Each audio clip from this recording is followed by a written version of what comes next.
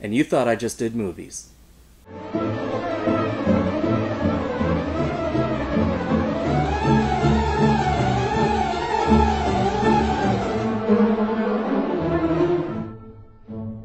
You know these things, right? They came right after VHS and before streaming formats. Sure, digital media has its advantages, but I still love having physical copies of my favorite movies. I don't have to worry about having access to the internet, and they usually come with a few extras. But traveling with a mighty stack such as this can be a pain. You can lose them, and you can damage them.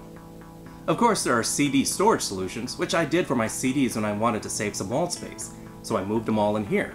Almost 200 of them, and I just threw the jewel boxes away. Uh, we miss you, Whitney. That freed up so much more room for activities!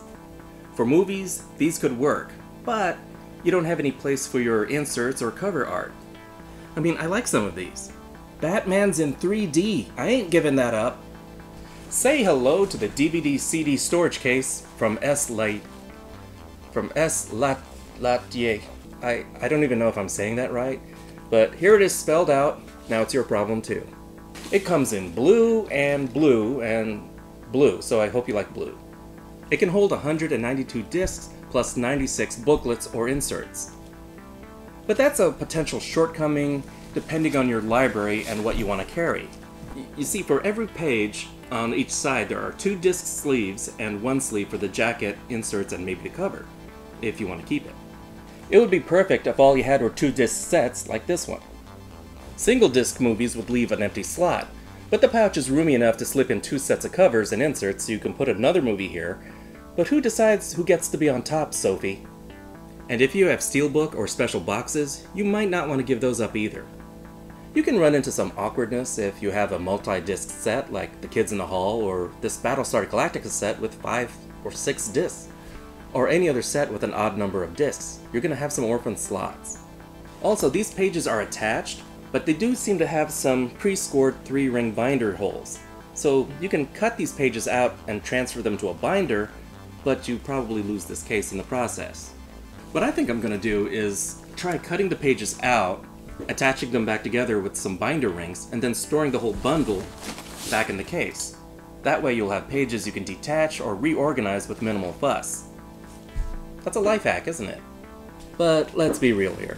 Digital media is ultimately becoming more convenient. If you want to take a ton of movies to someone's house and all they have is a disc player with no Wi-Fi, at least you won't have everyone huddled around your phone watching Netflix and using your data. It will do the job, but honestly, I don't see many people choosing to travel with such a large amount of movies. But this will be excellent for console games, Xbox, PlayStation, especially if you're gaming at a friend's house. But it's also good for storage. If you have some movies that you don't care to display and you want to clear up some space, this is a good way to do it. If you have a particular genre that you want to keep separated and hidden from prying eyes, you could store your collection and slip it under your bed.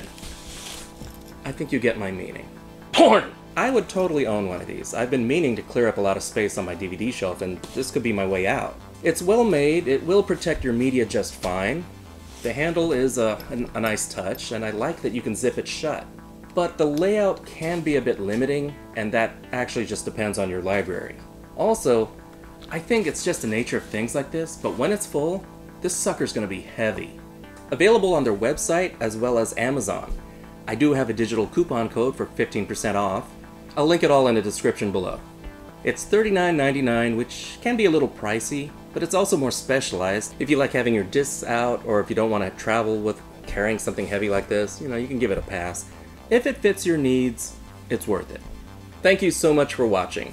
Like, subscribe, and comment, the bell, you know, the usual YouTube stuff. This is The NewBee, and I'll see you later, kids. Toodles!